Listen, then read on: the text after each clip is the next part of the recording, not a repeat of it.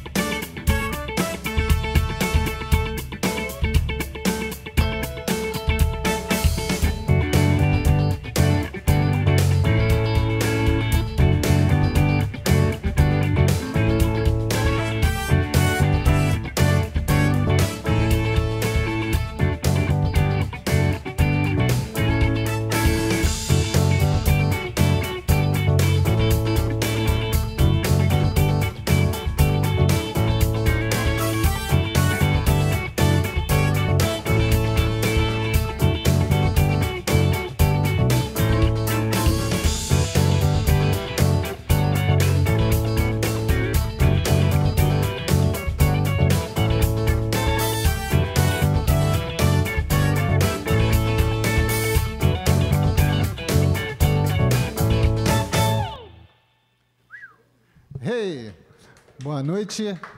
Eu sempre gosto de começar com, com som assim. É, acho sempre que dá um astral. É, o workshop é de guitarra base, criativa, e é algo que eu venho estudando e me interessando cada vez mais.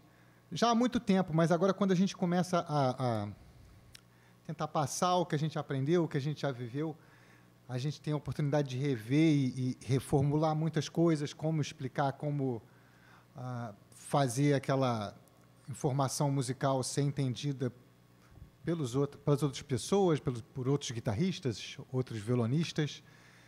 Vai ter muita coisa aqui que mesmo quem toque violão vai poder aproveitar. Não só guitarristas. Eu trouxe bastante efeito aqui, bastante coisa, é, elementos sonoros, é, um, acessórios e etc., para a gente curtir, ter uma noite divertida. Diante de tanta tensão, é bom a gente curtir assim, uma música, né? E vamos em frente. Eu fiz aqui. Eu queria falar de cinco pontos. Eu vou explicar aqui como é que eu planejei. Eu planejei ficar falando, tocando, falando, tocando, falando, tocando. E aí, no final, vão ter as perguntas. Mas se tiver alguma coisa que, caraca, pode me interromper, assim, ou pedir para falar, e se for alguma coisa muito pertinente ao momento, mas é porque eu tenho a tendência a, a sempre achar que eu vou conseguir falar muito mais do que vai dar tempo. Então, eu vou tentar é, ser direto, vou dar uns exemplos musicais, eu vou mostrar aqui tocando é, diferentes abordagens, falar um pouco de harmonia, de muita coisa. Então, vamos lá. Primeiro aspecto que eu gostaria de falar sobre a guitarra base, e que serve para qualquer músico, são as subdivisões rítmicas. Sendo assim, qualquer um que toque um instrumento toca ritmo. A gente é, tem que estar muito ciente que o ritmo é um elemento muito importante na música. Então, sobre as subdivisões rítmicas, eu posso dizer que o primeiro passo é a gente entender um pulso, né? Não precisa. Não é um compasso, nada disso, é um pulso. Um pulso regular. E nesse pulso a gente entender como a gente pode dividir ele. A gente pode dividir ele uh, em dois, pá, cá, um, dois, um, dois, um, dois. Em três, um, dois, três, um, dois, três, um, dois, três. Em quatro, um, dois, três, quatro, um, dois, três, quatro, um, dois, três, quatro. Pode fazer as figuras bizarras. 1, 2, 3, 4, 5, 1, 2, 3, 4, 5, 1, 2, 3, 4, 5, 1, 2, 3, 4, 5. Duvido alguém conseguir dançar isso aí, mas, mas rola. É, 6, 1, 2, 3, 4, 5, 6, 1, 2, 3, 4, 5, 6. Enfim, tem que botar aquele, um e-mail do WhatsApp, já começa a embolar a minha voz aqui. Então, são muitas subdivisões. E a gente, o ideal é começar a pegar essa, essa, essa habilidade no instrumento. Ou seja, primeiro passo é você subdividir da maneira mais simples com algo que seja. Uh, você consiga focar no ritmo. Então não precisa tocar acorde nenhum. De primeira a gente faz. Dois. Um, dois, um, dois, um, três. Um, dois, três, um, dois, três, um, dois, três, um, dois, três, um, dois, três, um, dois, três. Quatro. quatro, um, dois, três, quatro, um, dois, três, quatro, um, dois, três, quatro, um, dois, três, quatro, um, dois, três, quatro, um, dois, três, quatro, um, dois, três, quatro, um, dois, três, quatro. Vamos para o seis.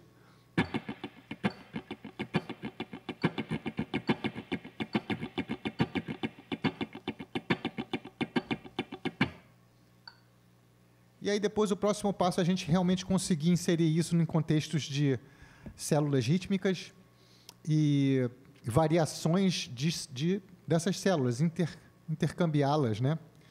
Então, ótima maneira também de treinar o, o ritmo, intercambiar.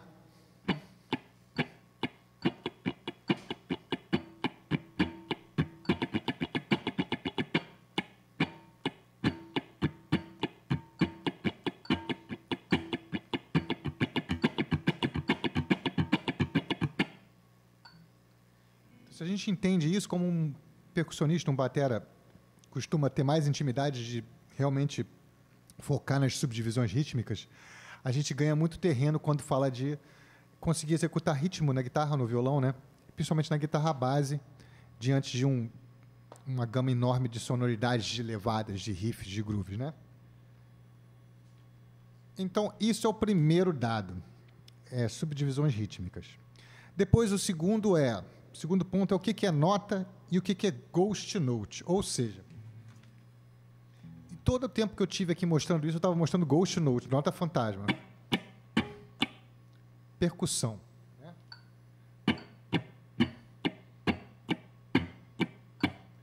Quando eu tenho som,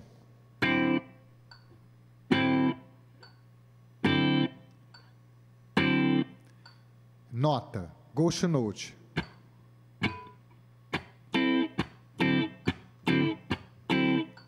Ghost Note, nota, tchá. A nota ficou no contratempo, ficou no 1, 2, 1, 2, 1, 2, 1, 2.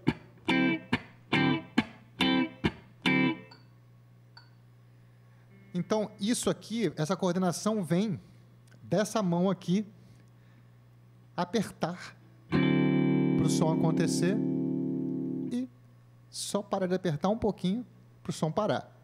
E você poder ter o seco. Ou seja, se a gente fosse fazer o, a subdivisão em três, um, dois, três, um, dois, três, eu quero chão com som, tchaco, tchaco, tchaco, tchaco.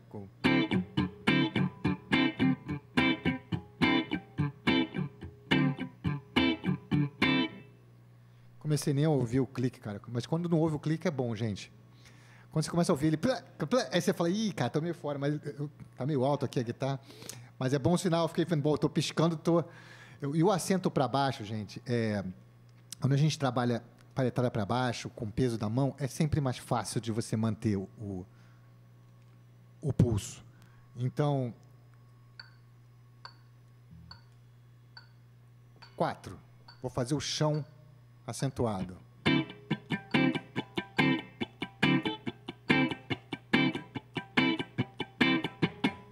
Agora eu fazer na terceira semicolcheia. Um, dois, três, quatro. Um, dois, três, quatro. Um, dois, três, quatro. Um, dois, três, quatro.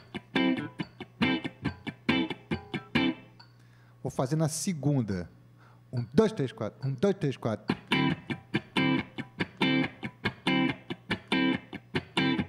Ah, ah.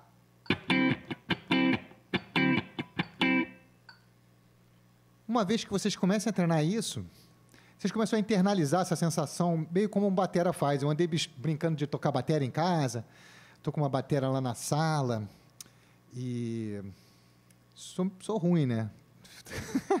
a gente não consegue fazer o que a gente imagina, né? Porque não tem coordenação, mas a gente vai sentindo a música de uma forma diferente. É, aqui a gente está... Eu, eu, gosto de me arriscar em outros instrumentos. Já toquei flauta, já toquei... Bom, de corda eu to, toco um monte, né, gente? Eu toco dobro, ukulele, é, cavaquinho, bandolim. E eu acho que isso, de certa forma, esse desafio promove uma certa mente fresca. Você não fica muito acomodado, você, você nunca fica tipo, ah, tô relax. Tá sempre mais tipo esperto, tendo eu tenho muito interesse em aprender outras coisas, aprender outras formas de tocar, de fazer música. Então, tendo entendido isso da mão esquerda, Ghost Note e o que é nota, a gente pode começar a montar é, grooves, células rítmicas. E, e essa história do que, que não é som, do que, que é. do que, que não sai som, é fundamental. Por exemplo, nessa abertura aí que eu toquei essas oitavas.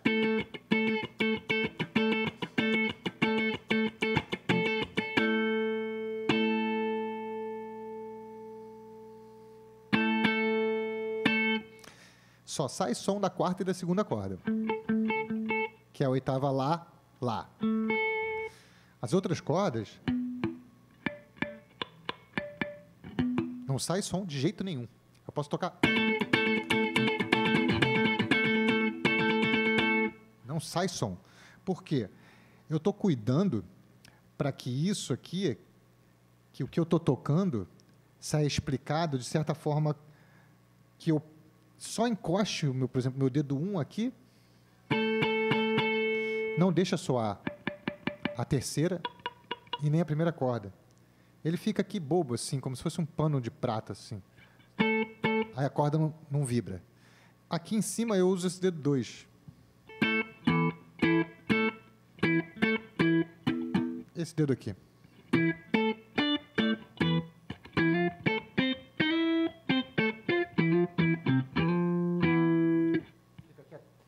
Fica aqui atravessado. Isso é uma coisa que é pessoal, mas eu estou dando um caminho que eu uso. Que eu acho que é entender. É... Ver? Vou dar um exemplo para vocês clássico. O cara que, pô, tá começando a tocar e de repente faz o Ré maior. Aí tu fala, cara, tem uma sobra aí, cara. Não, tá tudo certo. Tu fala, tá certo, mas aí é um Mi, é um Ré com baixo em Mi ou em Lá, não sei. Daqui é Ré.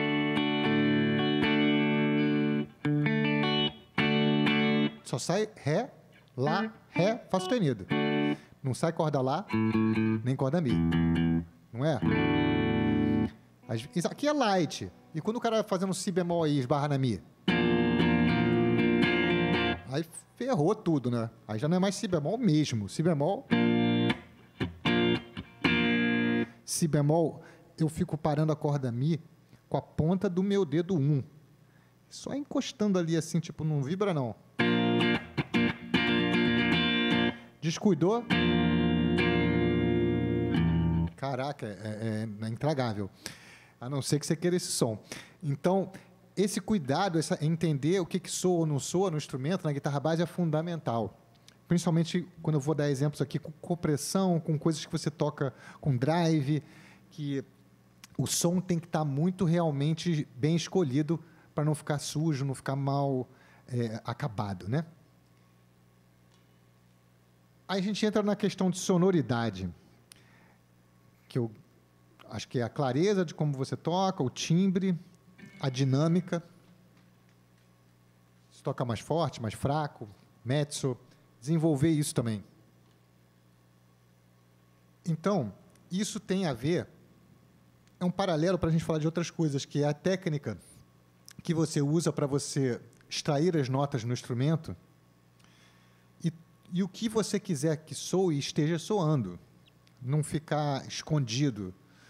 Uh, por exemplo, se é uma tríade, se é um Fá menor.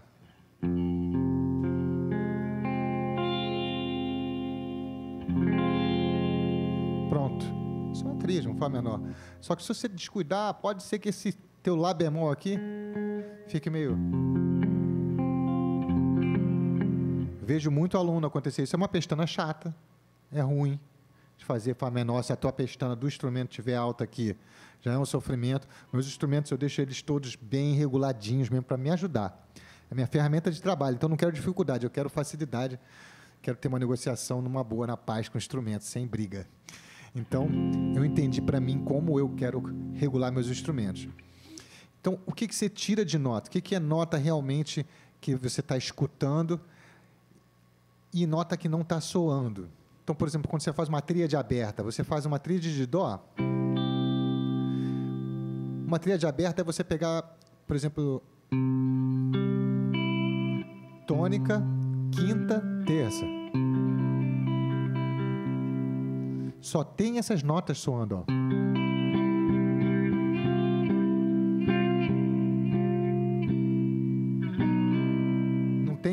Sexta corda, não tem quarta, não tem primeira, é só.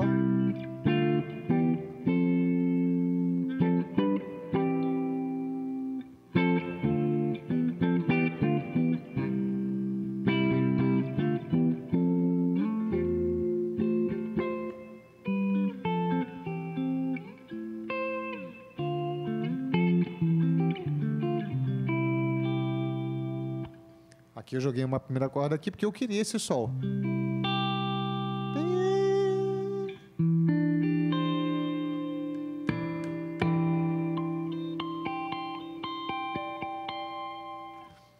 Isso é muito importante, a gente ter controle do instrumento, o que, que soa, o que, que não soa, para a gente começar a, a ter uma sonoridade definida, o acorde bem explicado, né? afinado. É, quando eu falo de técnica, eu costumo dizer que eu sou, sim, entusiasta de que o som vem muito da mão do cara mesmo. Se o cara pega o instrumento desligado, já, já tem um jeito de tocar, uma pressão de, de, de tocar nas cordas, de tirar o som. Afinação, é, precisão, precisão de ponta de dedo, né? De, o, cara, o cara que toca, vamos dizer, fazer o Ré maior, né? faz o Ré maior assim, ó, todo mundo muito longe da, do traste, a chance de, de dar um probleminha é, é, grande. Então, se você olhar, os caras que tiram um som bom, eles estão sempre no lugar certinho. Logo antes do traste.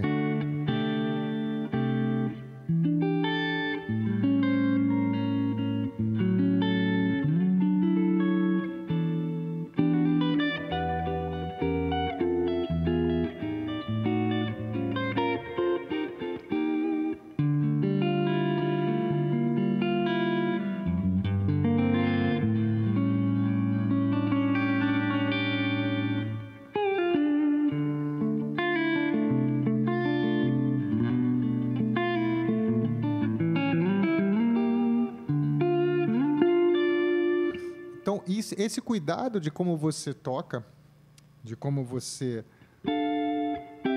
tira som, cada dia eu percebo que é é um estado de relaxamento, mas não é de de, de, de você ficar é, é difícil isso, porque é uma, é uma negociação entre você estar relaxado, mas você saber o mínimo de pressão que se aplica para a nota sair. Tem vezes que eu fico assim brincando sem um polegar aqui atrás, fico assim.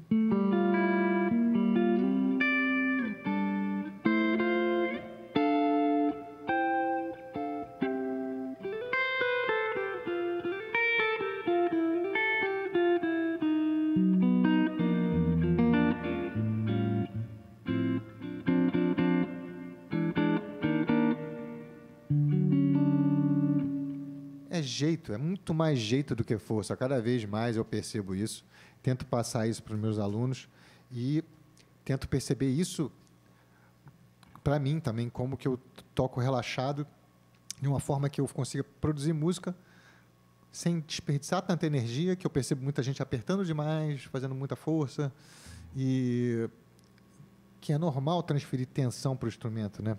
É, isso é uma das razões porque tocar bateria é divertido. Porque quando você transfere, vai, não é tão sutil quanto uma guitarra. Você pode largar a mão. Mas, enfim, aqui, na guitarra mais ainda, né, o violão ele ainda tem mais. Ele ainda suporta mais uma, vamos dizer, um, uma pressão a mais. Que, essa desafinadinha que vocês estão ouvindo, ó, acorde afinado. Quase, né?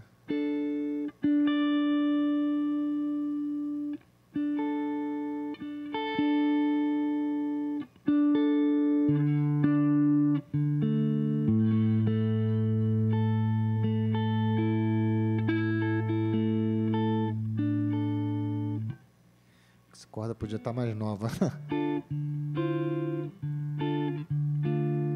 Tudo bem, está afinado. Aceitável. Se eu fizer muita força, naturalmente a corda é um microbend, o acorde todo fica. Uma coisa é você sacudir um pouco o acorde, fazer um vibrato.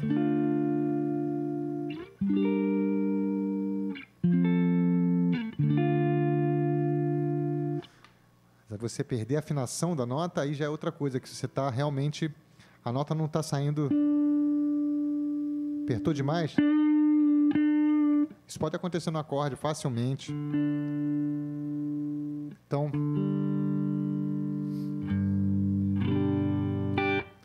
Esse é um aspecto importantíssimo, gente. É, tanto para base quanto para solo, tá? É como vocês estão tirando o som, tanto do violão ou da guitarra. Isso é extremamente relevante. Quinto ponto, vocabulário, que inclui células rítmicas, harmonia, progressões harmônicas, voicings, referências de, de, de som, de músicas. Afinal de contas, a nossa vivência, ela do que a gente ouvia, né, de repente pequenos, do, do, do, do que um, de repente um avô ouvia.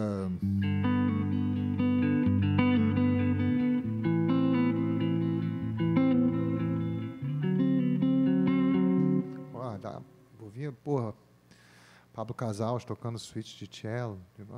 Aí o outro ouvia, sei lá.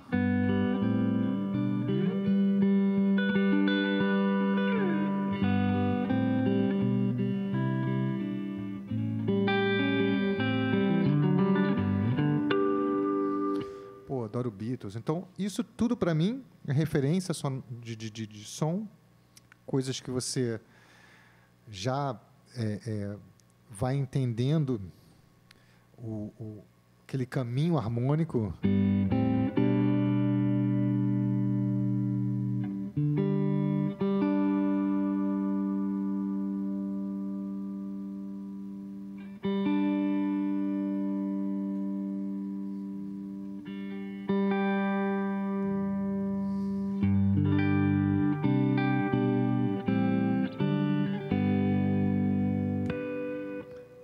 Fazer esse outro tom?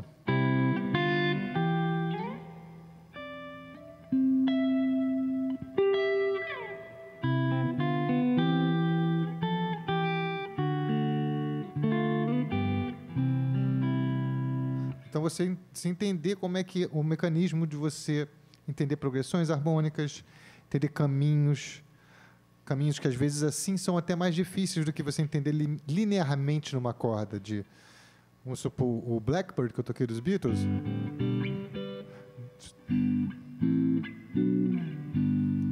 Simplificadamente é isso. Mais exato é Sol, Lá menor, Sol com baixo em si, e aí Sol de novo. É isso, só que aqui. Então a forma como você organiza essa informação musical faz toda a diferença. Isso é o vocabulário, isso é, é sonoridade, escolha de voicings. Então, tem alguns voicings muito usados, né, de, de, de, de guitarra e violão com corda solta.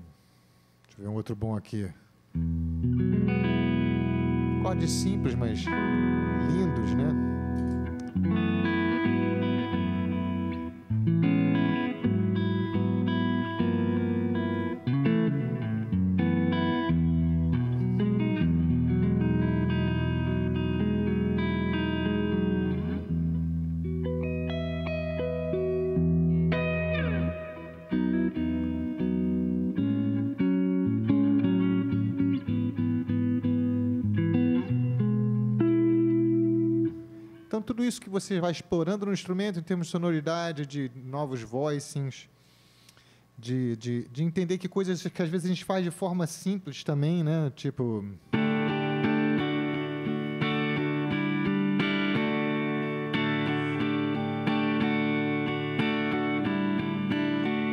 John Lennon, né? O Woman. Pô, mas se eu tiver que tocar isso em outro lugar, tivesse que tocar em, sei lá, em Fá sustenido. Pô, chato, mas aí você vai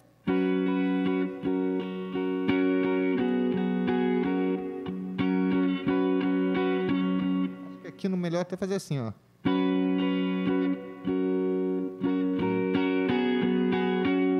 Ou aí, a gente chama o nosso amigo capotaste E lindamente vai.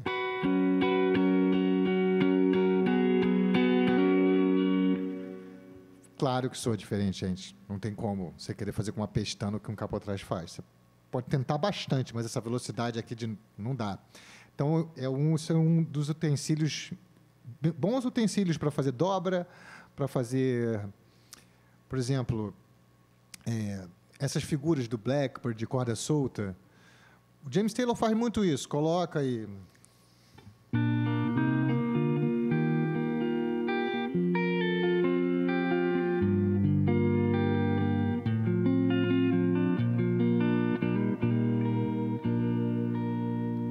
afinação foi para o espaço, perdão. Mas usa muito o capotrás para manter esses voicings de acordes que são lindos mesmo, né? Então, agora eu vou fazer um, tocar um pouco aqui. O workshop é de guitarra base criativa, então vou tentar fazer algo, vou mostrar as coisas mais standards assim, né, que a gente costuma tocar e coisas também mais criativas, mais diferentes.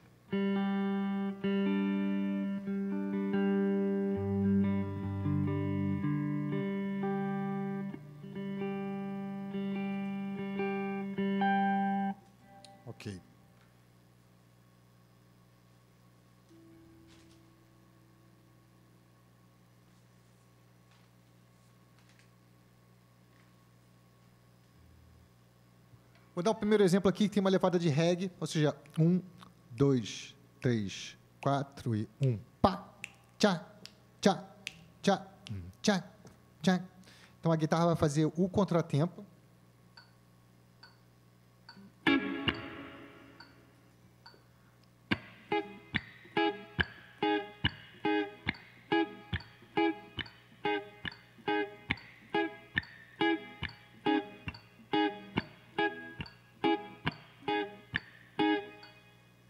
Os acordes são, bem simples. Dó sustenido menor e Si. Só isso. Dois acordes. Só que nesse voicing aqui, o primeiro para Dó sustenido menor, ok, está em cima do shape mesmo. O segundo para o Si já não é um Si. É um Si com nona, com uma sexta aqui embaixo Então aí já é um voicing. O tecladista pode estar tocando lá. Ai.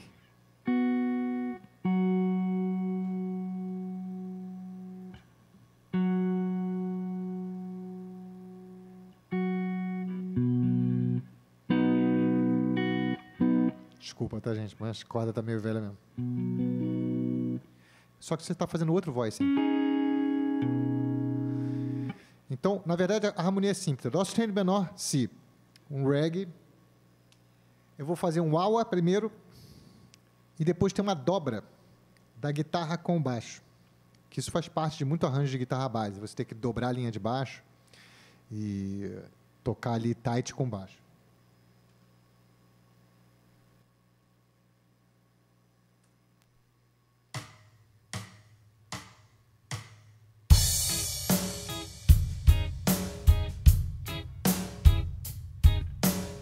Gravada aquela. querendo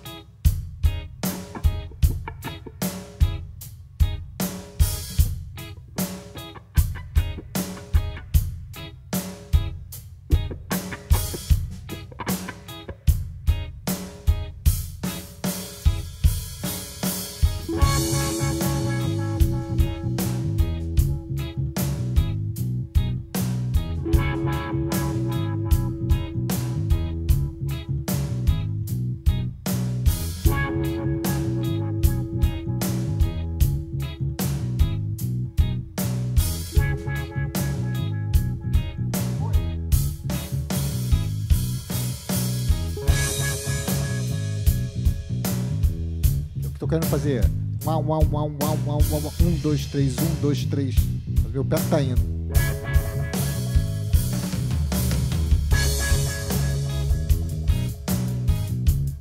Linha de baixo.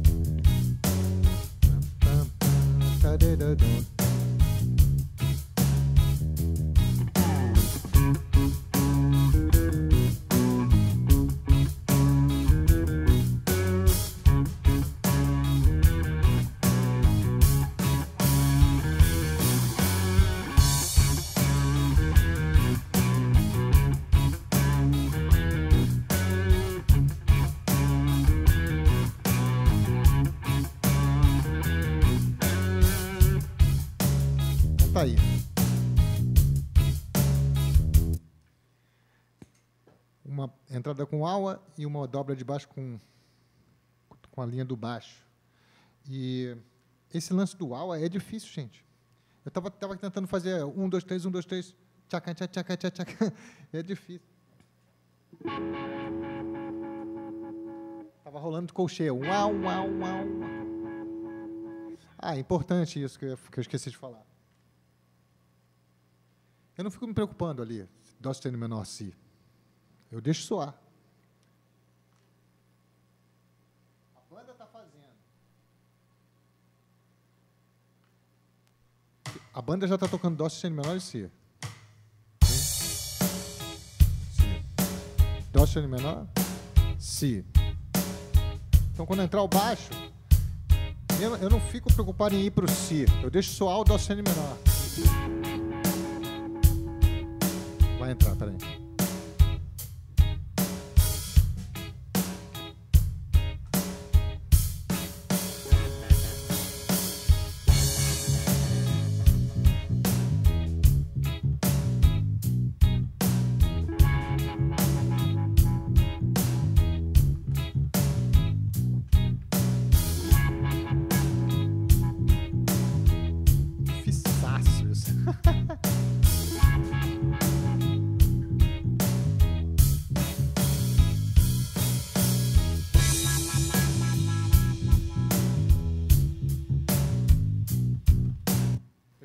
Falar uma coisa, tocar o aula sentado é difícil, gente. Em pé é mais fácil, com a perna dobrada. Mas é tchau, tchau, tchau, tchau, tchau, tchau, tchau. Esse é o lance que é que eu queria fazer. Então, mesmo, acreditem se quiser, tem que estudar com pedal de wah também. É, esse é um approach rítmico tal, né? Você tem outras maneiras de tocar o wah também, interessante, é, que não são, que é mais como um filtro wah.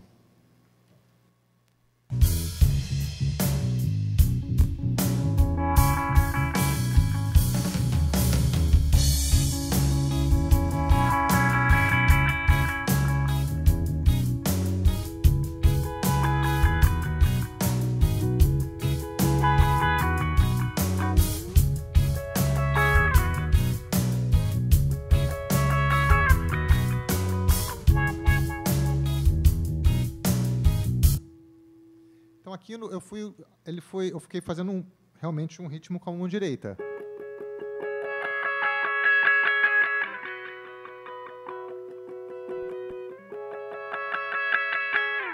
E eu só fui abrindo com ele o timbre. Isso pode acontecer também com um acorde.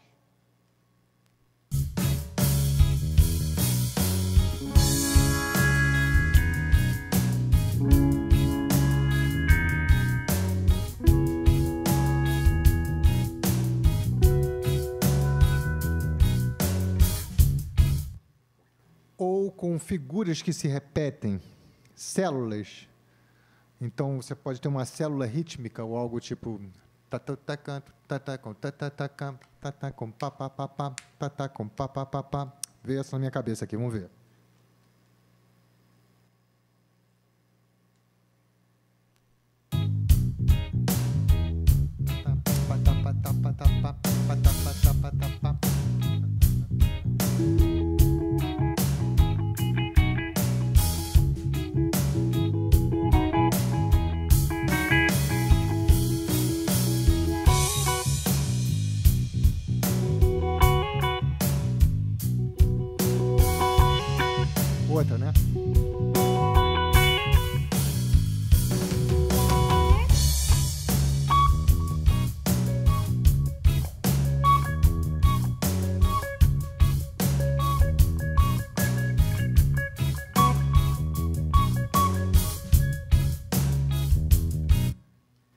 Pedal de wah, cara, é um pedal que eu não uso muito e é muito legal, assim, para você explorar sonoridades. O Hendrix era, pô, Steve Ray Vaughan, caras que tocavam com wah demais.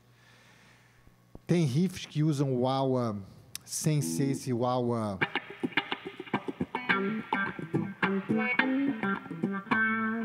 mais rítmico. Por exemplo, o Money for Nothing. Ele está com o wah parado aqui no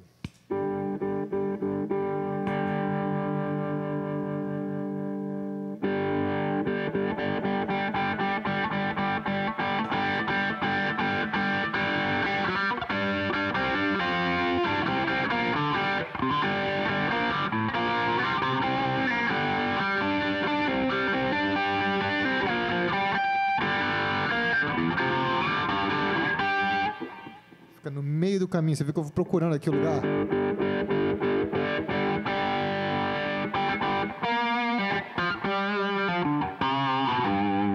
É bem aqui, quase no meio do caminho. Ó, desligado.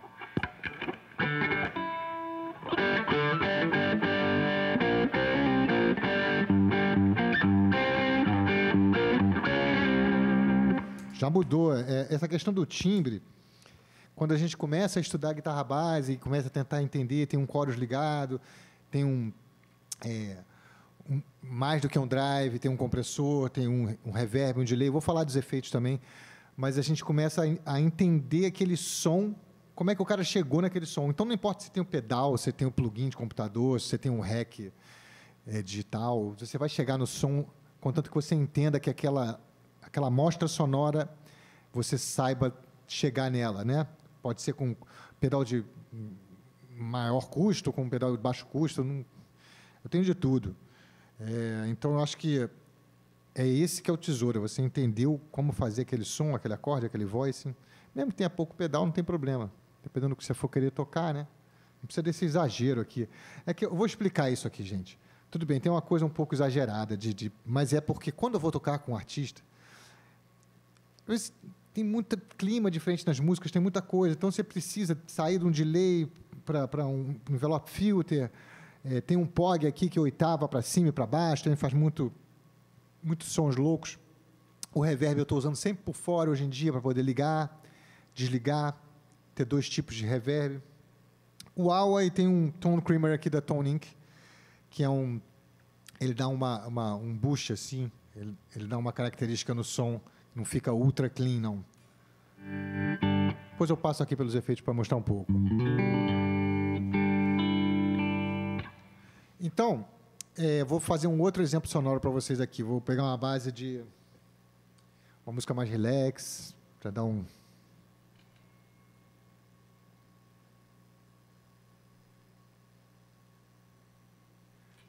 Vou botar o Paciência aqui em Sol maior.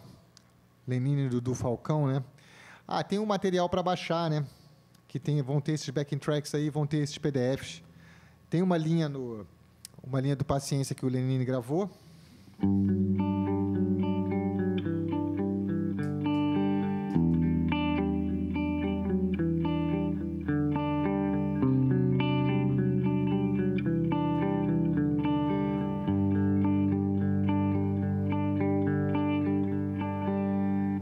Tá escrita lá.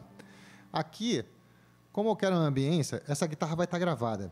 Mas aqui mostrando para vocês como eu gravei a guitarra. Com uma base, ele, ela é etérea, assim, ela é mais é, aberta, a sonoridade é ampla. Eu vou fazer aos poucos aqui, vocês vão ver como é maneiro. A guitarra sem nada. Limpinha. Nem reverb tem. Aí eu ligo um hall reverb, ou seja, um reverb longo, daqueles como se estivesse numa igreja. Ó. Então, tudo vai ganhar mais, vai ter um, uma reflexão maior. E eu ainda ligo junto com o reverb, mas antes, o delay, ou seja,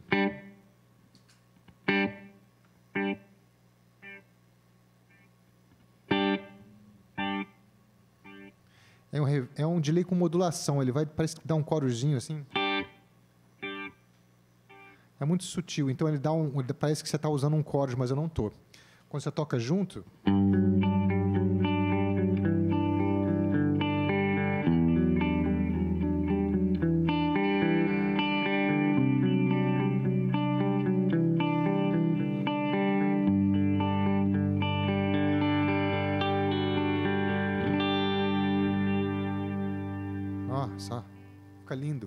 Dominic Miller, que toca com Sting, usa muito isso. Michael Landau. É, muitos caras que sabem usar essa ambiência. E isso é uma coisa difícil de distinguir também. Eu fui descobrir com bastante examinar bastante coisa, ver bastante videoaula, entender o som dos caras, porque às vezes o som da guitarra tá assim com um reverbzaço assim, a gente não nota na base, mas muda. O reverb muda, o, a, parece que o, a profundidade, a guitarra fica um pouco mais longe.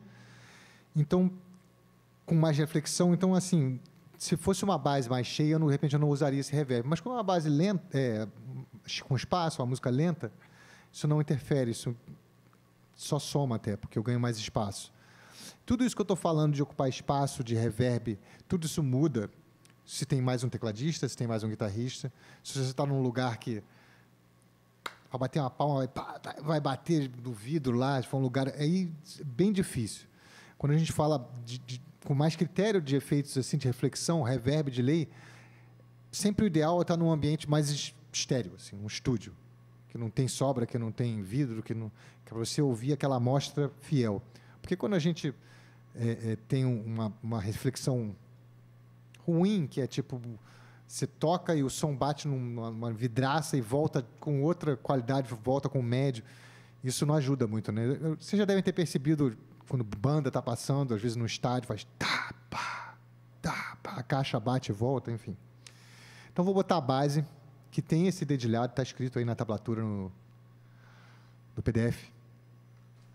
E eu vou tocar. Vou tocar uns ostinatos. Esse já é um ostinato, de certa forma. Só que ele muda. Né? Você poderia ficar direto assim.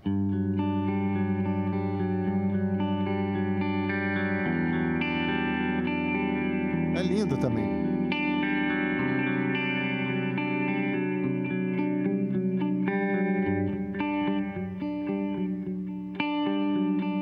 É a mesma figura se repetindo.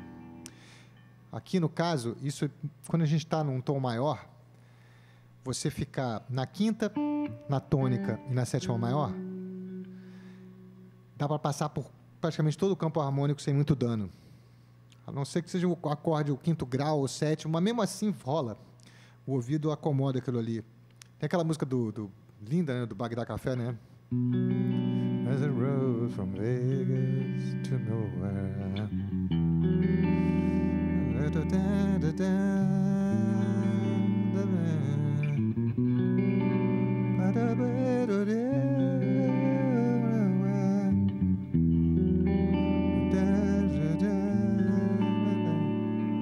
Em cima desse mesmo motivo. Ah, eu não vou alcançar essa nota. então, é, vou fazer aqui uns ostinatos. Vou fazer umas coisas com pedal de volume que eu gosto bastante. E depois eu toco outra vez, faço outras coisas. Vamos lá.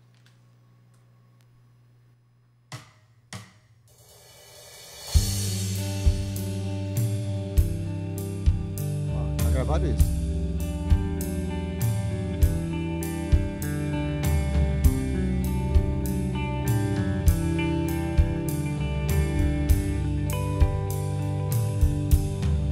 Fazer um outro ostinato.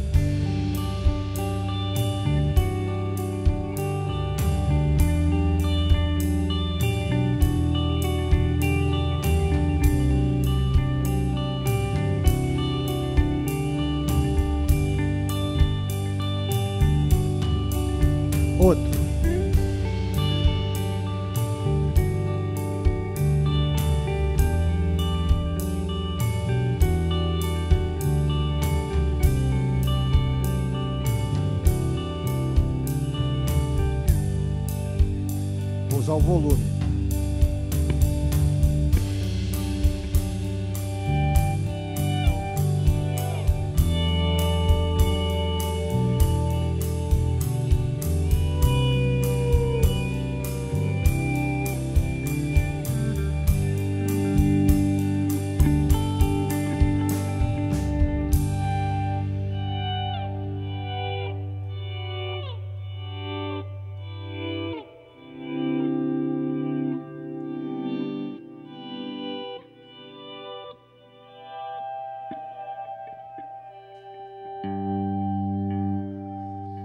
deixo um delay, tem um reverb longo aqui, né? O delay tá, tá. Eu, eu tenho um pedalzinho aqui de expressão que eu controlo aqui com o, o botão, é um botão grande que eu controlo com o pé. Então, o delay com pouca repetição estaria assim, ó.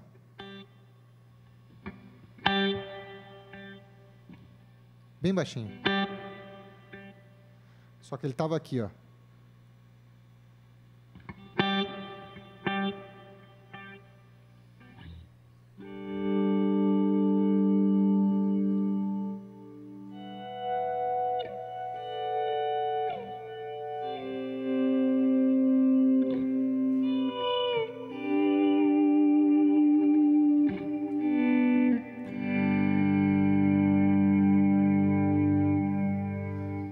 Para fazer isso, geralmente eu ligo o compressor, porque ele dá mais sustain, ele me dá um pouquinho mais de volume.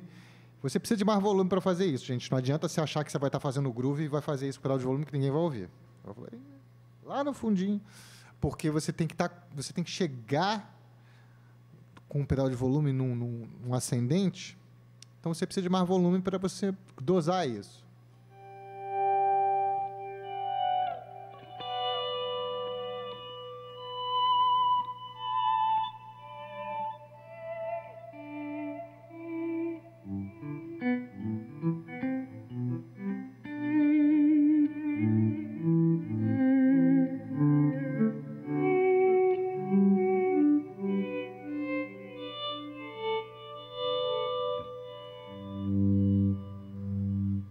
Você chega com o pedal de volume, você tira o ataque das notas, dá um efeito maneiríssimo. Agora eu vou botar a mesma base e vou fazer uns harmônicos e uns outras formas de costurar com intervalos, de terça e sexta.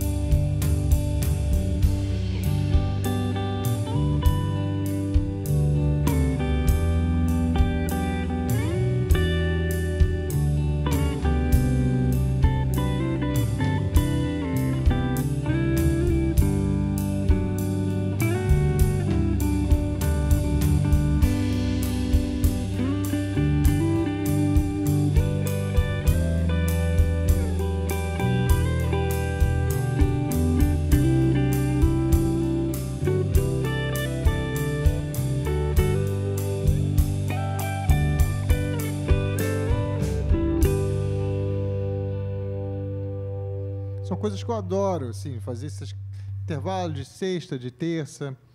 É, o, o, lance dos harmônicos, eu usei só harmônico natural. Harmônicos naturais são os que a gente extrai com a corda solta. Por exemplo, na corda Sol, oitava, quinta, nota Ré, Sol de novo, oitava acima, duas oitavas, aliás, Si, Ré de novo, e aí a gente vai ter a sétima.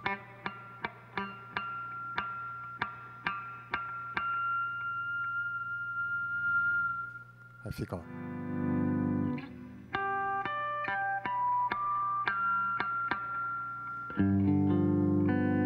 É um sol 7. Se eu fizer a quarta corda.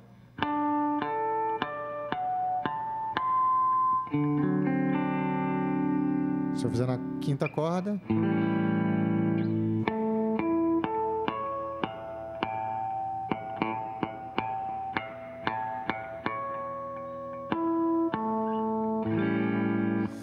Legal isso, é série harmônica, né?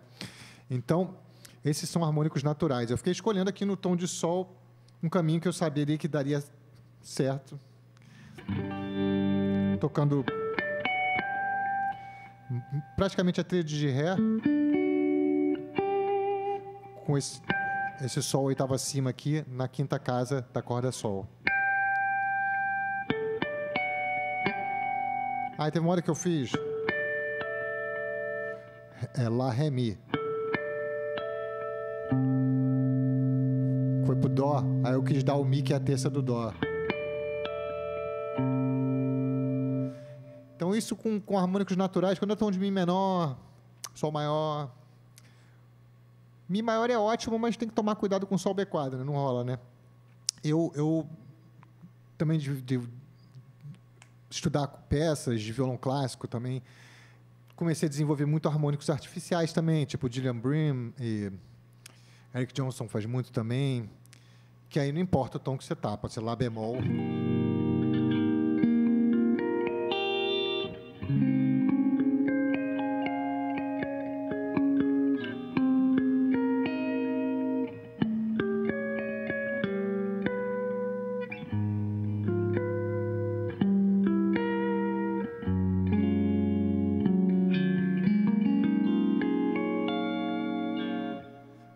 História, você tem que tocar. Eu não preciso explicar isso aqui. Isso fica para outro workshop. Mas é outra história. Você faz qualquer harmônico em qualquer lugar, misturado com nota, aí fica esse aspecto meio de harpa, né? Eu acho legal pra caramba. Às vezes arma um acorde. Né? Toco às vezes simultâneo nota e harmônico.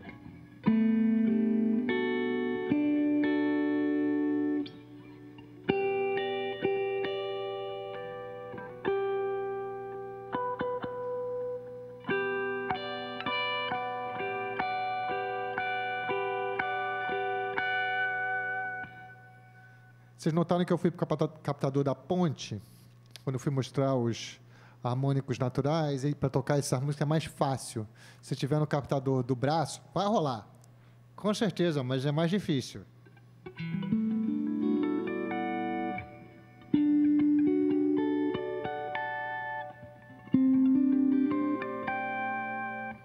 Que é um captador mais fechado, o timbre da ponte mais aberto favorece os harmônicos. Então vamos partir para o último exemplo aqui que eu botei, um exemplo mais pop. E os acordes são super simples. Mi menor, Sol, Ré e Lá maior.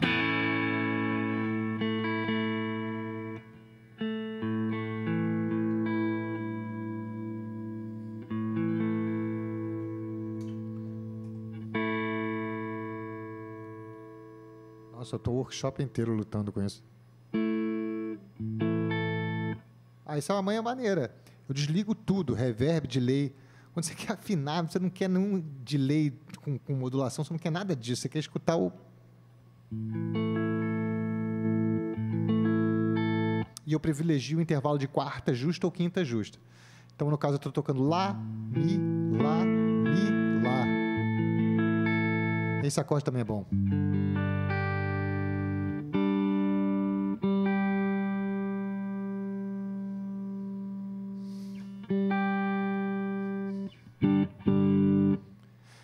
Gente ver se tem batimento, né? Quando está desafinado, ó, está afinado.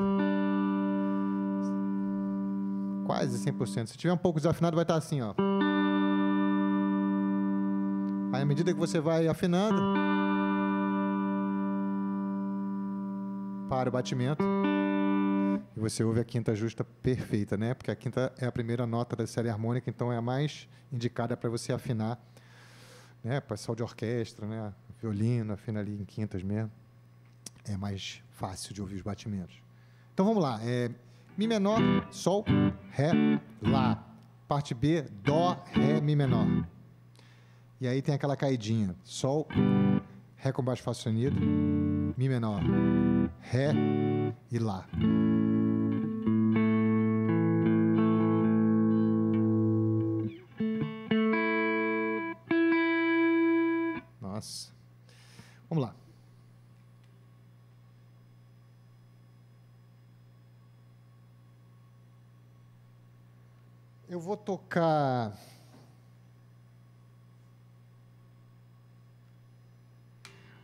É aquela música do Oasis, né? O Wonderwall. Então, não é Mi menor, só o e Lá, né? São aqueles voicings.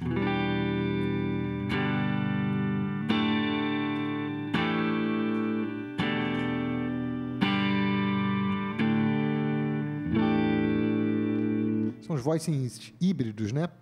Você fica com esse Ré Sol aqui, quinta e tônica, né? Está em Sol maior ou Mi menor. A música está mais em Mi menor, né? Mas funciona para todos os acordes, tá vendo?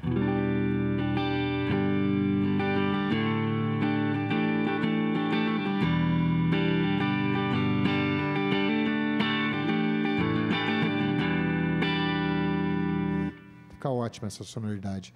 E mesmo no Lá, no acorde de Lá,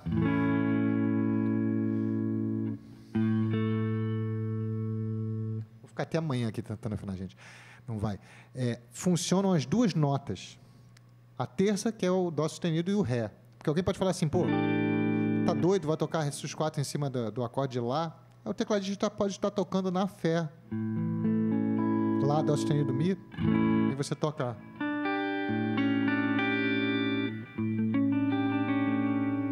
Fica ótimo. Fazer a levada reta e vou dar uma variada depois.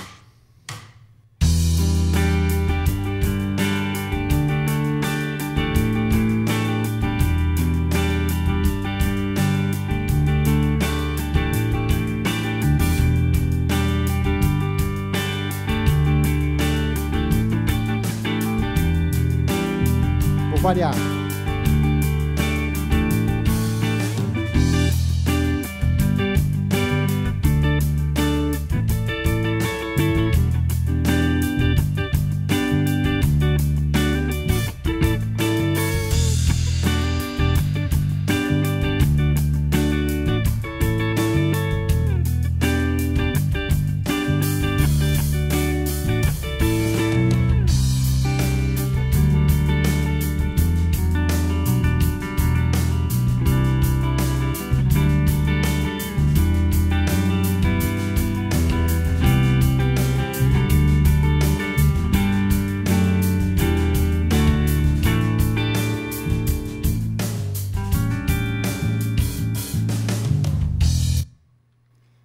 Foram os acordes, mas dentro da forma tradicional que é tocada por eles mesmos. A parte B, Dó, Ré, menor. Eu que fiz aquele voicing do Mi menor com, com sétima e nona aqui. Que é um voicing clássico de violão né, e de guitarra. Era um, era dois, era assim. Ninguém. Nada a ver com o Oasis, mas é o voice, né? Vou fazer agora uma guitarra um pouco mais é, rock, em cima da mesma harmonia.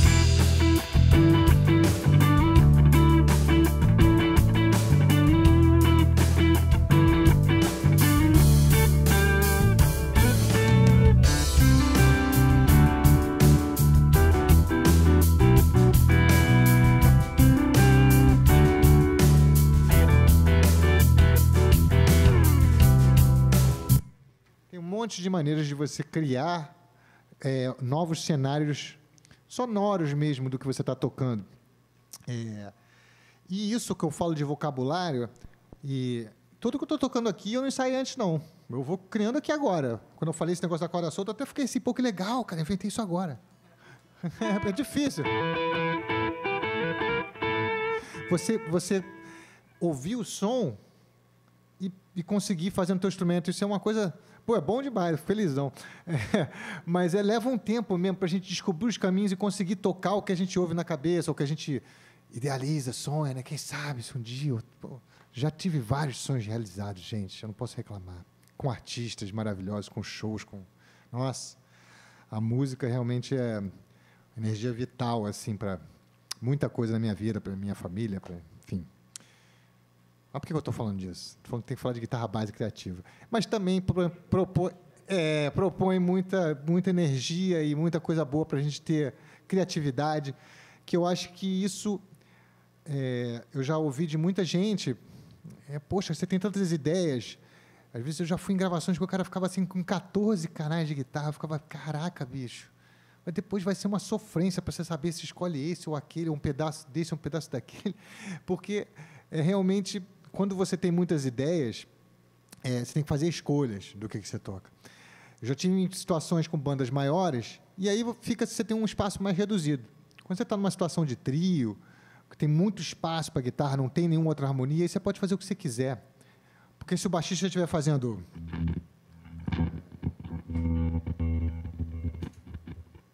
Bom, isso é normal, né? No mundo da guitarra, você sabe.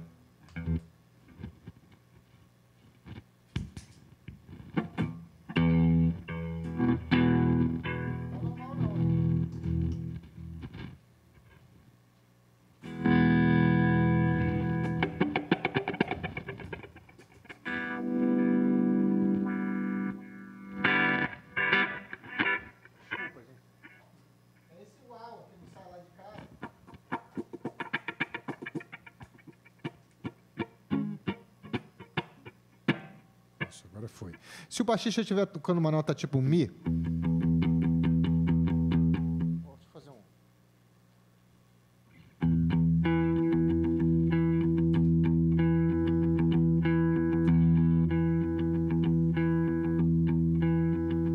Aí você fala, pô, é um Mi. Eu quero o quê? Eu quero o Mi menor lá do ponteio? Ou você quer um Mi menor tríade? Ou você quer um Mi 7 sustenido 9 tipo Jimi Hendrix?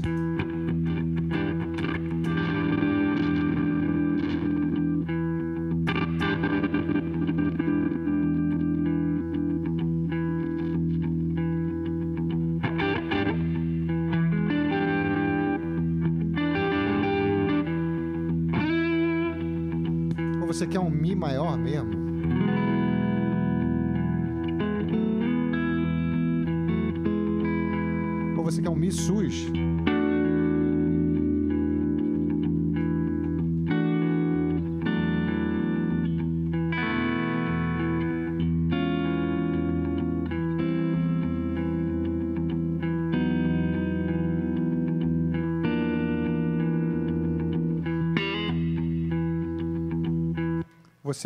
Quando o cara está numa nota só, você pode empenar o que você quiser. Pode ser o Dó com baixo em Mi, pode ser um Mi 7 sustenido 9, pode ser um Mi menor 7, pode ser... Você fica com muita é, facilidade de manipular a harmonia. Por isso que o contexto de trio, guitarra, baixo e batera, para um guitarrista é muito libertador, porque ele realmente não corre o risco dele chocar com o tecladista, uma coisa que de repente não esteja combinada, que é mais free e você fica com liberdade de manipular a harmonia é, e os voicings. Isso é muito legal. É, então, vou fazer mais uma desses, desse, do Wonderwall aqui. E vou tocar... Faltou tocar alguma coisa aqui que eu achei que era legal. Ah... Vou mostrar umas coisas com mais rítmicas e uma com, com slide.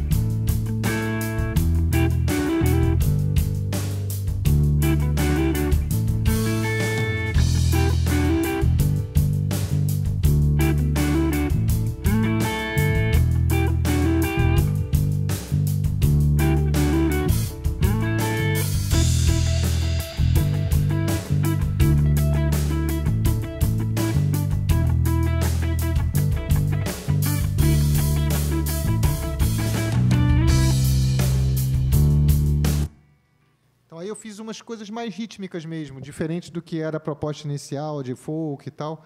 Um, fui para um outro lado.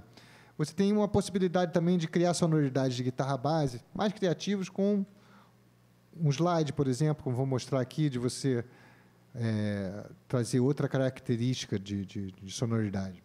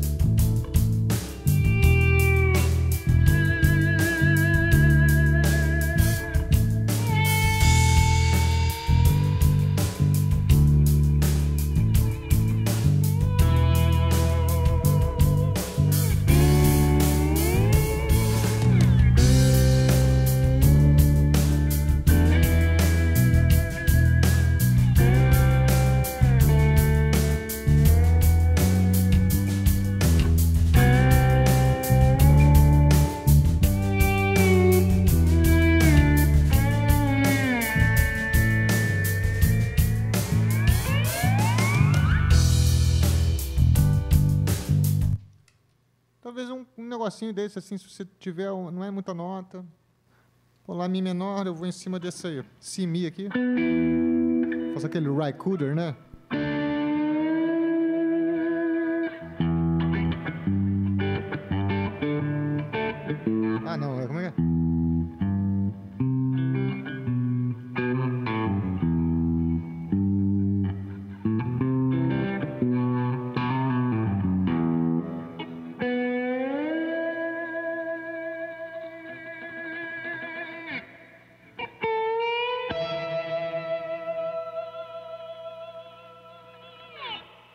Ação baixa, assim, é muito difícil, gente. Eu prefiro slide de vidro, porque para não ficar. É, é, realmente tocar slide no instrumento que eu toco normalmente é muito difícil. Esse, esse barulho do, do, do slide na, rattling, né? Vibrando sobre os trastes quando a ação está muito baixa, assim, é muito difícil. Eu tenho que. Gente, eu estou mal encostando.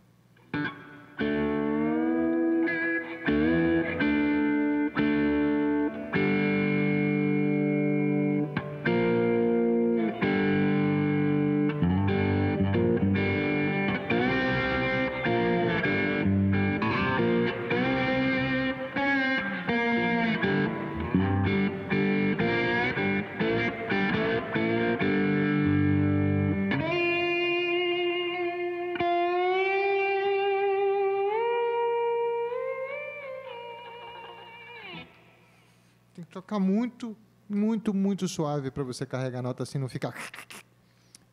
Geralmente, eu uso um instrumento onde eu subo a ação. As cordas ficam mais distantes, fica mais tranquilo. Então, é... vou falar um pouco dos efeitos e vou abrir para pergunta, gente, porque acho que já está. Quando eu olho, já estou falando há tanto tempo. É...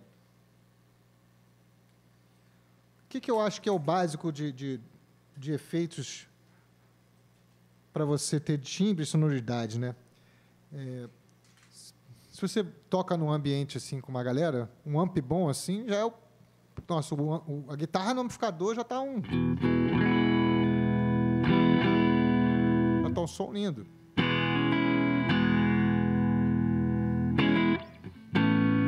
Tem nem reverb. Você pode usar o reverb do amp. Eu expliquei já por que eu não uso o reverb do amp, porque quando tem situações que eu tenho um efeito tipo um envelope filter, que é como se fosse um alto wah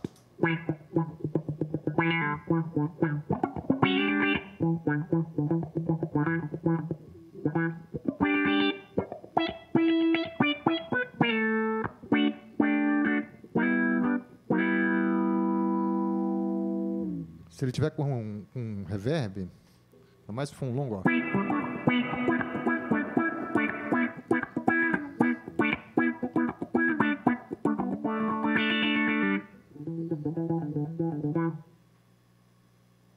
Muito, tá abrindo demais. Agora que eu vi que tinha esbarrado no botão. É legal pra caramba. Ele, ele reage a quanto você enfia de pressão, né? Pressão sonora. Ele não, se você tocar levinho, ele não abre. A partir do momento que eu enfio uma pancadinha,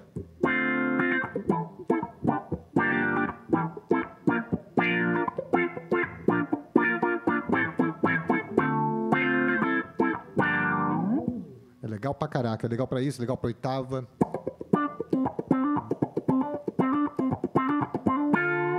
E é diferente do AUA. Ele é um envelope filter, ele abre de acordo com a minha pancada que eu uso, quanto que eu estou imprimindo de pressão sonora. O AUA, ele é um filtro. É porque isso às vezes fica de chavado quando faz. Que eu tenho que coordenar de ficar indo para o agudo. Quando eu quando estou paletando forte. Isso é uma maneira. A outra maneira que geralmente é mais tradicional de usar o AU é você manter a subdivisão mesmo. Tá rolando um groove?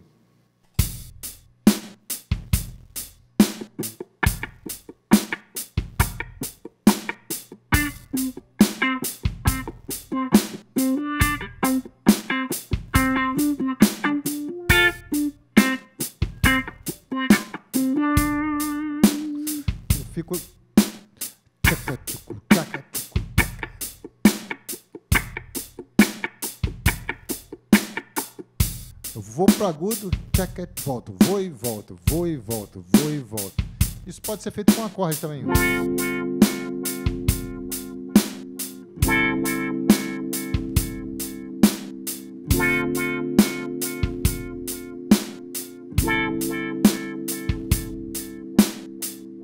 Gente, eu preciso estudar o AUA sentado. Difícil tocar. É, então é o seguinte, outra maneira é você usar ele como um filtro mesmo, você ir abrindo, né?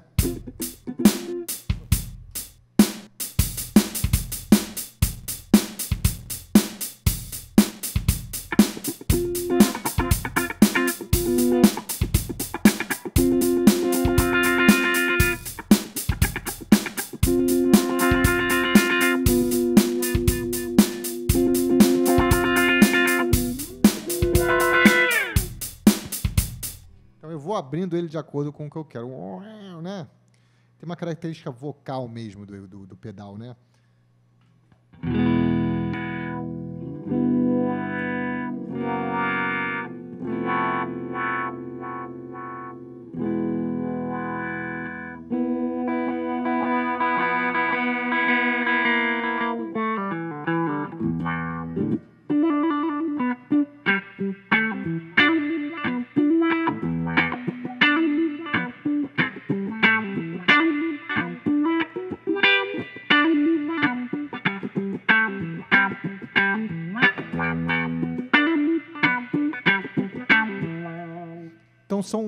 Características do pedal, que ele favorece é, essa, essa parte rítmica. Tem muitas guitarras básicas que às vezes não tocam nota nenhuma mesmo. É só no Ghost Note, tipo.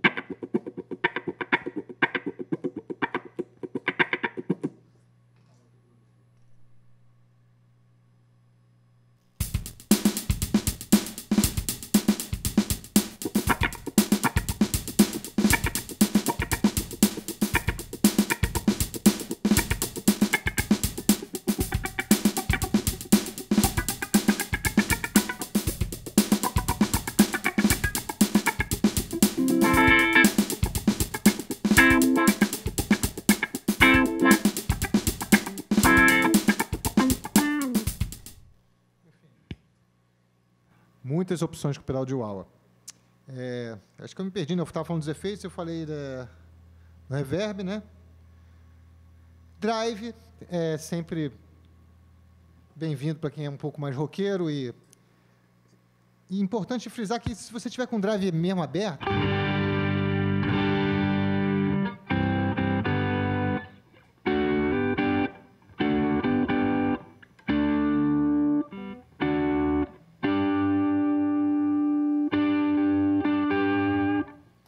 drive é ótimo para afinar, porque aí bate mais ainda. Se você mexer no pedal de. no botão de volume.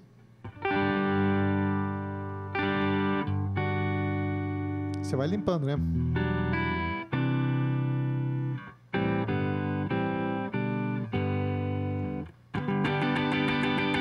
A partir do momento que você toca mais forte, clipa mais. Então, o pedal de drive, procurar usar essa amplitude de, de, de dinâmica e entender como que os acordes se comportam com ele. Porque, claro, quando você toca um sétima maior, é mais difícil, né? Dele aceitar, se estiver limpinho. Mas quando você tem isso aqui, a tônica e sétima maior, quanto mais transparente o pedal, mais fiel, mais fácil de não embolar.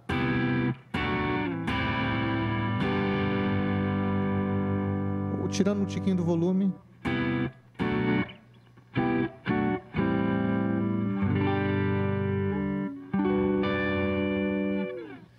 Geralmente eu uso mais de um drive para somar, pra, pra, por exemplo, quando eu fiz aquela frase lá da, da, daquela primeira música, eu usei três.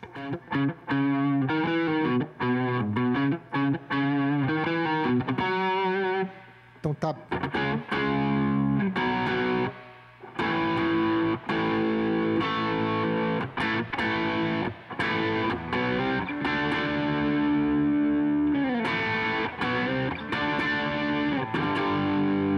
Tá bem rock, né?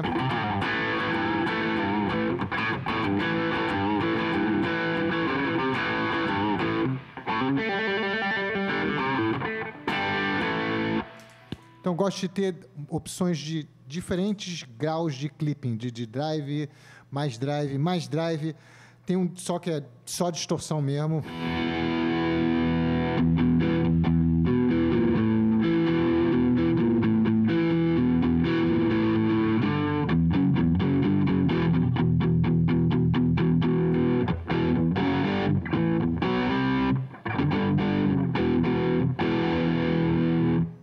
Tem que gravar essas coisas, fazer isso. Então tem essa opção aqui também. Geralmente uso mais, uso mais para solo até. Aí eu tenho um compressor. O compressor, para quem não sabe, ele vem geralmente no início da cadeia, ele pode ser usado no meio ou no final. Mas geralmente a gente usa no início para empurrar também os drives, porque um som de drive.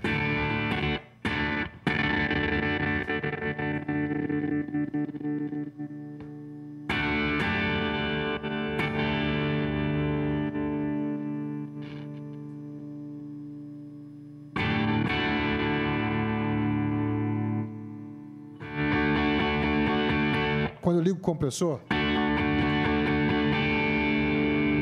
ele, ele, ele excita mais o drive, dura mais tempo, tem mais sustain, fica aparecendo uma distorção.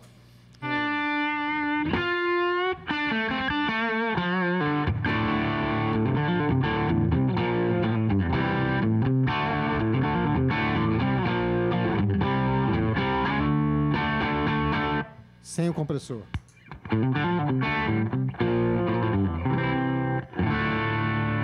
Ele fica menos atochado, menos comprimido mesmo. Então, um pedal que excita drive também. Depois eu tenho as modulações todas como coros.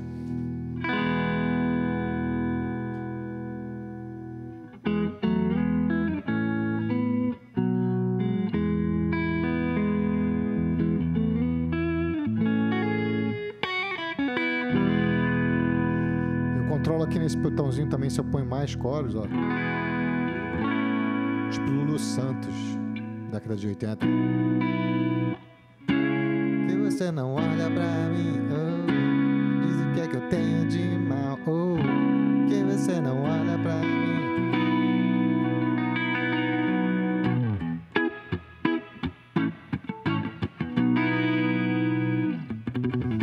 Bom pra caramba, né?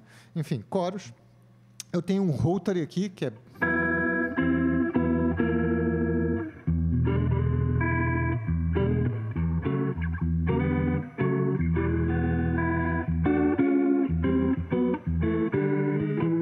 que é tipo parece um órgão, né? Ele, ele, ele anota sozinha e com ele. Dá uma estragada mesmo. Gente que odeia. Não liga esse pedal! Pelo amor de Deus, é você que está estragando a base. é, aí tem os delays, que eu uso aqui geralmente uns dois.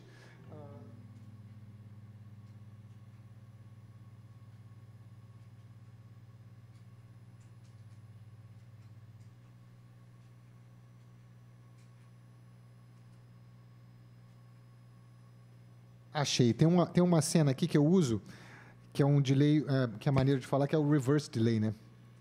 Que ele, ele, ele inverte mesmo, acho.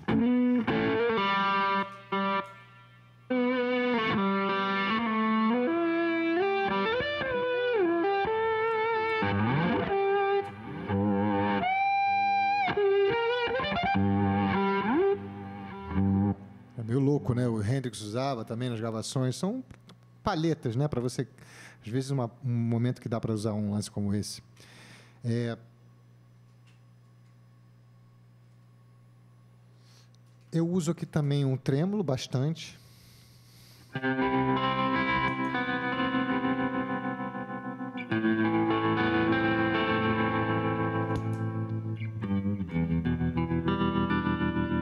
E eu controlo a velocidade no botãozinho aqui.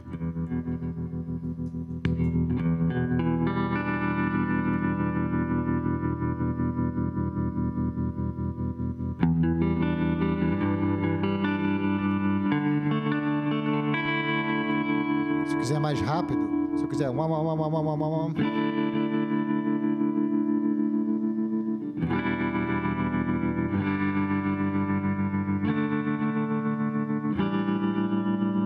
Uau, uau, uau, uau. Mais lento que eu tenho é esse. Aí eu tenho que mexer na programação, mas eu controlo a velocidade dele aqui, é bem legal. É, E eu tenho um POG, que eu não liguei em momento nenhum, que ele faz oitava abaixo.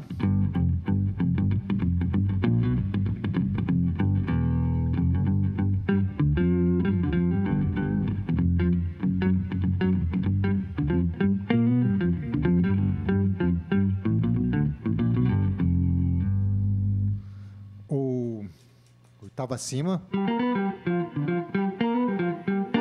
É polifônico, ele entende acorde.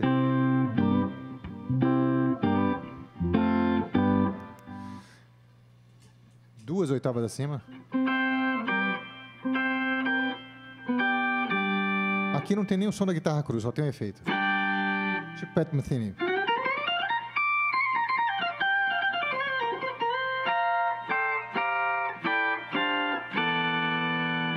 Ele tem um- uma maneira também que você pode usar ele vindo com crescendo.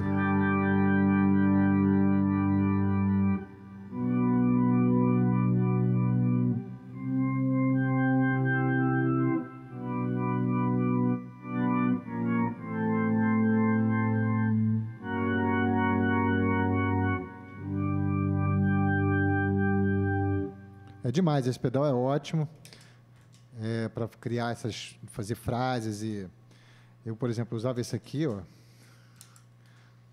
esse preset aqui.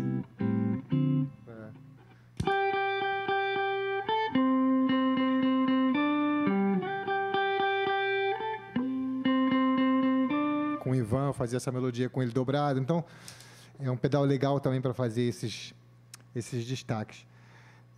Bom, eu acho que eu posso- vou abrir para pergunta, né, gente? Tem pergunta aí? Ou não? Falei tanto, né? Nem bebi água. Pode perguntar o que quiser aí de, de efeito também, de...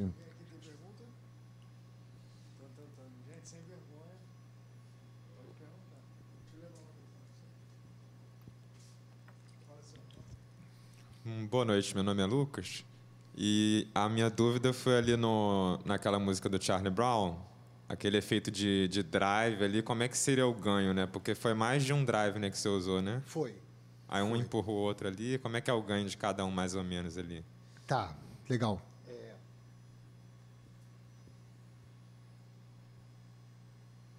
Vou botar para tocar de novo aqui. Quando eu comecei com o AUA,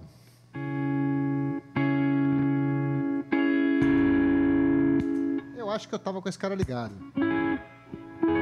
Mas eu não estava com o volume todo aberto, não. Eu estava menos. Tipo assim, estragadinho.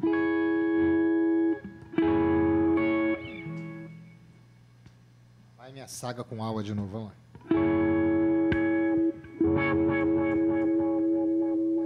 Se estiver limpo, ó. Tanto faz, você pode usar ele limpo ou sujo. Na base, eu acho que quando ele está um pouquinho assim, ele dá uma liga.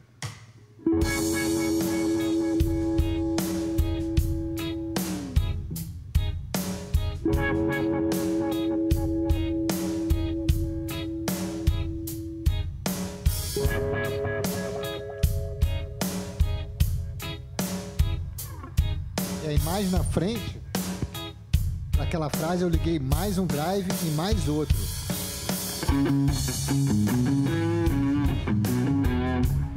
É porque não é a frase ainda, né? O Fausto está fazendo.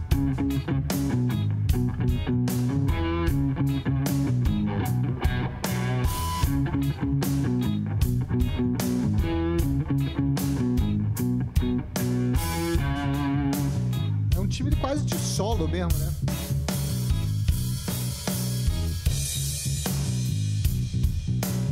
Isso aqui pode ser também para você fazer power chord.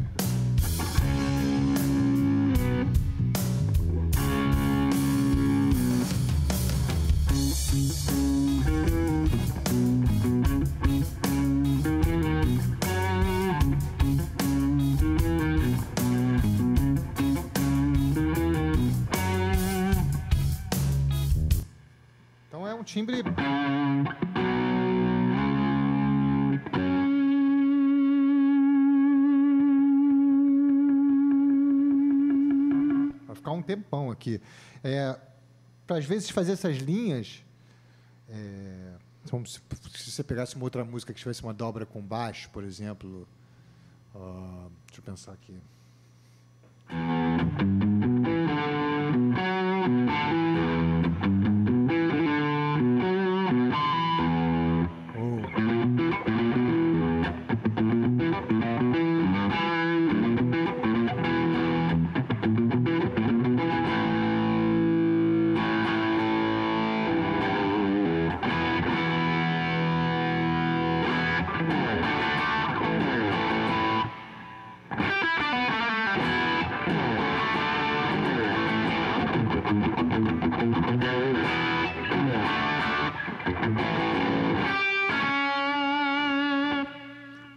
Rock mesmo. Tem que ter fé. Não pode tocar com muito medo, não. É, o BB preamp ligado, o Cold Shot da Tom Link e um OCD da Full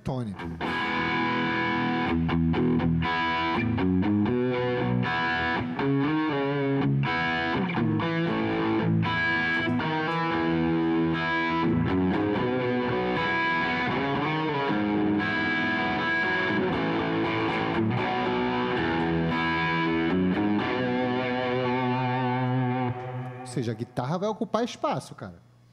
Isso é uma coisa importante. Quando você liga drive de distorção, a guitarra ocupa um espaço do caraca. Volume. Geralmente, quando reclamam, ela tá muito alto. É, o cara ligou distorção, o drive, fazer o quê? É, fica, ocupa espaço. É, é, é um, é da física mesmo, né? Os harmônicos com mais excitados. Tanto que a gente toca o power chord, que é tônica, quinta, tônica.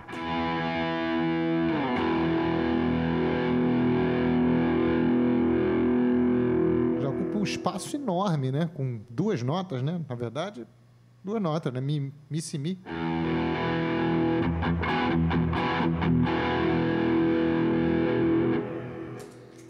Então, esse lance dos drives. é,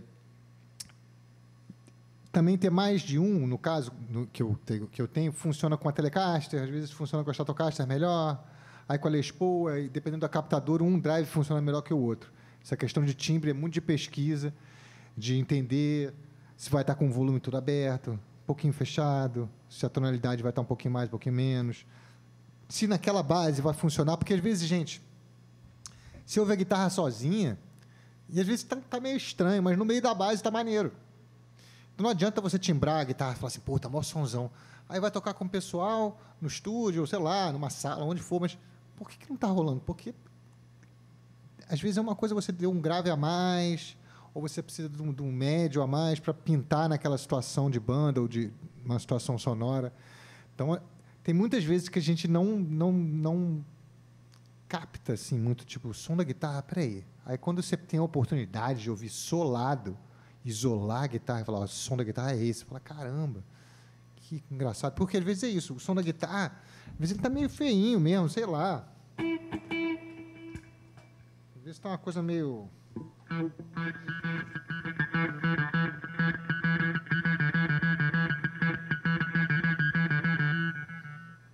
Meio bizarro, né?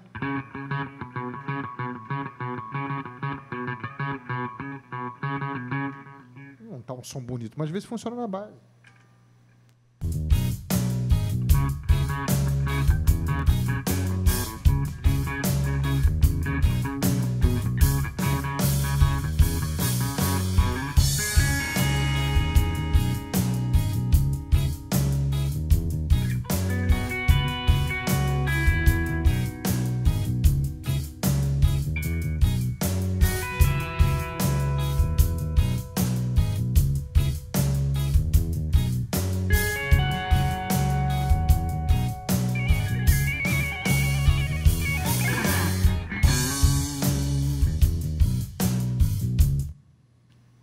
Explorar, cara, experimentar muita coisa, assim. Quer fazer uma pergunta? Tem que pegar o microfone ali, meu irmão. Pô, meu nome é Sérgio, pô, super, muito bom ter aqui. Eu tenho duas perguntas. Uma em relação ao drive que o colega colocou é o seguinte: você regula sempre no volume, você procura sempre regular no volume.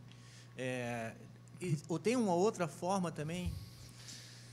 É. E, e, uma segunda pergunta, João, só para emendar. Você claro. falou que evita usar o reverb do amplificador sempre ou algum momento assim que você pode ter mais volume de som? Porque fica muito over, a questão é essa? Não, a questão é que eu não tenho controle. Eu, quando, no, quando eu ponho o reverb ali, eu não tenho como tirar ele. Então, se for um reverb curto, tipo, é, eu uso dois reverbs, um curto e um longo. Eu não falei né, disso nos efeitos, eu acho. Gente, é muita coisa para falar. Não fico dois dias aqui, mas enfim. É, Aqui é sem reverb.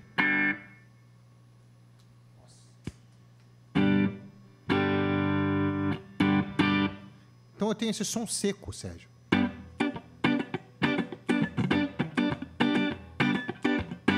Só que o meu reverb curto é esse. Ele está ali. Se eu fizer a mesma levada,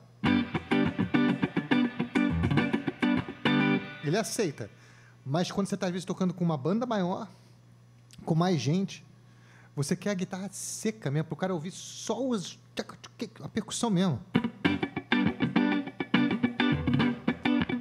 Você não tem como ficar desligando o reverb do amp, a não ser que você tenha um full switch. Aí você desliga o reverb. Aí naquela balada que você quer aquele, aquele reverbzão, você quer tocar o acorde, vai botar um reverb longo.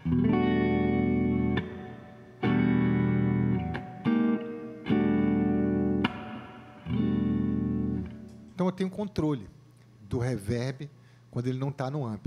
Assim, DVD da Angela Rorô, eu acho que eu gravei com reverb do amp, tem um amp meu, um Deville, mas tinha umas músicas assim, Simples Carinho, uh, umas músicas, tipo, sei lá, que, que eu usava o reverb mais longo, aí eu tinha que, que dar mais confiança para o delay, para as repetições do delay criarem essa ambiência, que é uma ambiência, né? o som ocupando outro espaço.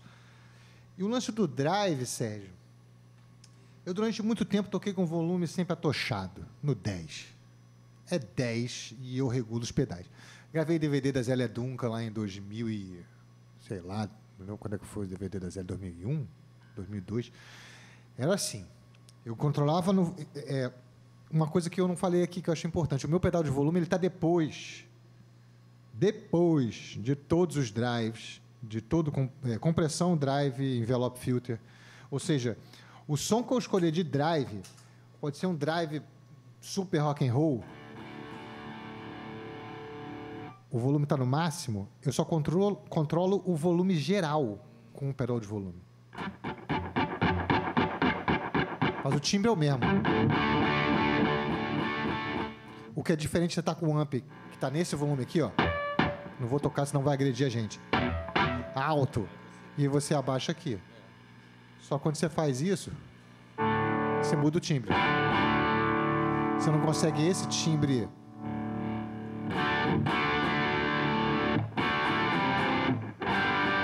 Tem muito mais, muito mais controle no pedal de volume do que.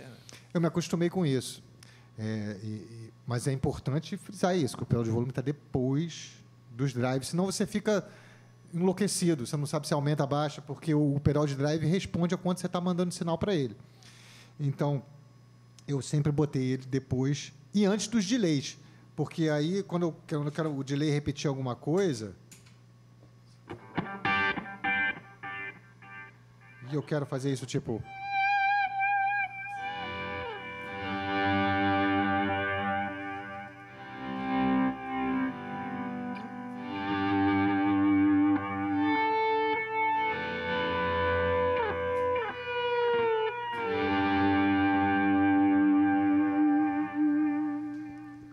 continua. Eu E aí, abaixo, eu uma abaixo o pedal e o som continua. Uma última pergunta. Você está com uma guitarra sólida. Se você tivesse com uma guitarra acústica, por exemplo, quer dizer, a lógica mudaria completamente. Depende da guitarra. Uma 335 aguenta essa, essa pressão sonora tal. Mas quando começa a ficar com bojo maior, qual o problema? Tanto que, não sei se vocês já viram o George Benson, ele tapa os F-holes da guitarra dele. Já viram, né? Porque o cara põe um, um Fender Hot Rod DeVille em estéreo atrás dele. Cara, é física, vibra É, sim, tudo. sim. É volume, é, é deslocamento de ar.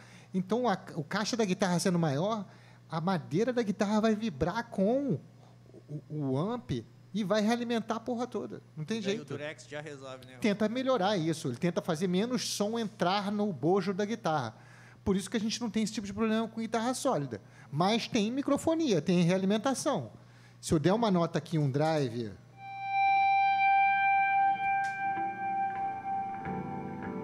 Deixa ela alta aqui de frente para ela, o som ele realimenta. O, o captador começa a pegar o som que está saindo do amplo e é aquela coisa de feedback que o Hendrix fazia, né?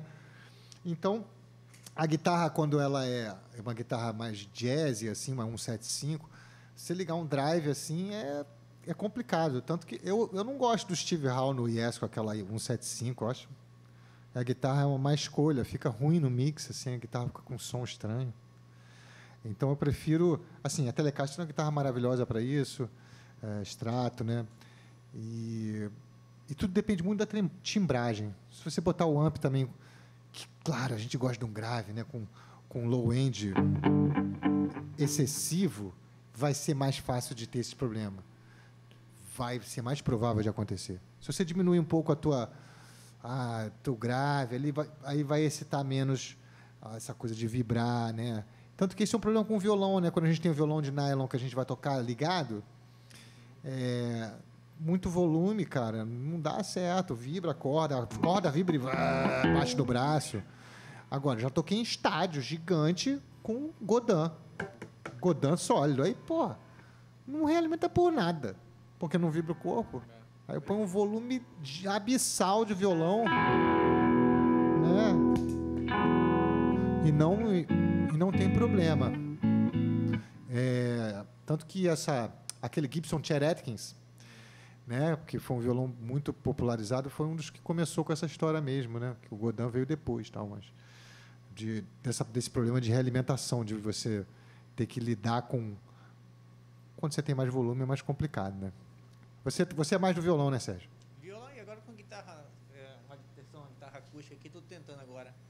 Ah, Tô, uma, uma é. guitarra semiacústica? É acústica ela, uma Tajima. Ah, legal, legal. Eu tenho um monte de guitarra também, semiacústica, é, sólida. é, o legal é que dá para fazer muita coisa. Inclusive, se você tem uma Les Paul, isso é uma coisa legal de falar. Assim, teve gente que falou, pô, mas se você levou uma Les Paul para gravação e o cara quer som de Stratocaster, está roubado. Cara, é difícil, mas se você trabalhar com o volume, se você botar o volume tipo no meio do caminho, você vai chegando no perto do, do som do single coil, que é menos saída, é menos volume. Se você pegar uma, uma, uma, uma guitarra como essa, põe no máximo, fazer um acorde, pega uma Les Paul, põe no máximo, vai sair mais volume da Les Paul. Ela tem um Claro. o captador tem duas bobinas, tem mais pressão sonora, né? Naturalmente. É, perfeito, valeu, João. Valeu. Vamos tentar fazer um negócio aqui.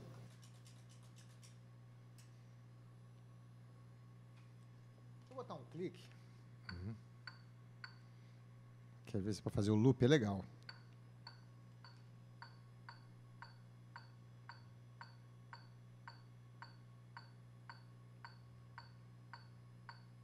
Vou fazer um loop aqui. Vou tentar. Pode ser que não dê certo, gente. Até com o Richard Bonal já vi não dar certo. Vou tentar é, para mostrar as camadas de um groove, né, de, de, uma, de uma célula.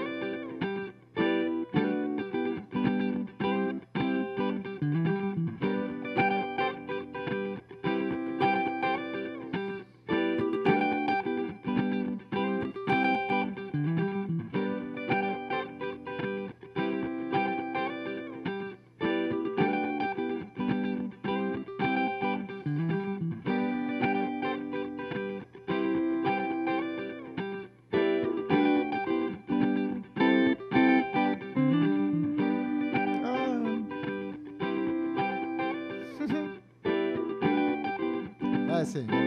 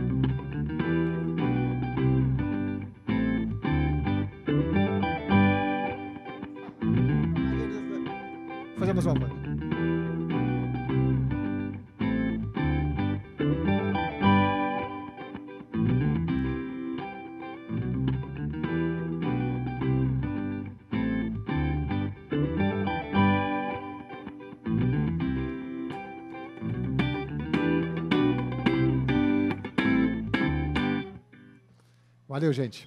Obrigado aí. Boa noite.